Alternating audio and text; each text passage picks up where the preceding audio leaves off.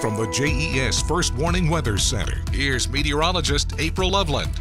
Well, we'll continue to see some messy weather out there tonight. We have a winter weather advisory for a portion of our viewing area until 10 a.m.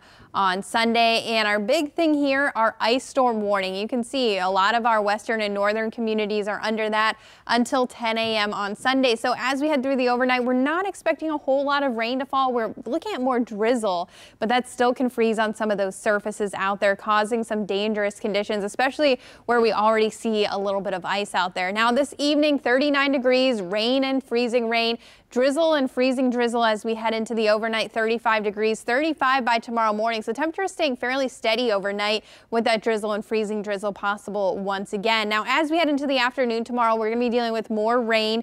Looks like just plain rain though. Those temperatures will be warming up to near 40. A few showers possible by Monday, 46 degrees. Widespread rain again on Tuesday, but highs near 60 degrees.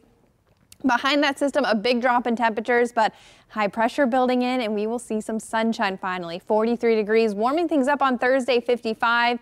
Going to be rainy and breezy. Showers and wind again on Friday, highs around 56, and then another cool down behind a cold front, partly cloudy on Saturday with a high of 45. That is your first warning, seven day forecast.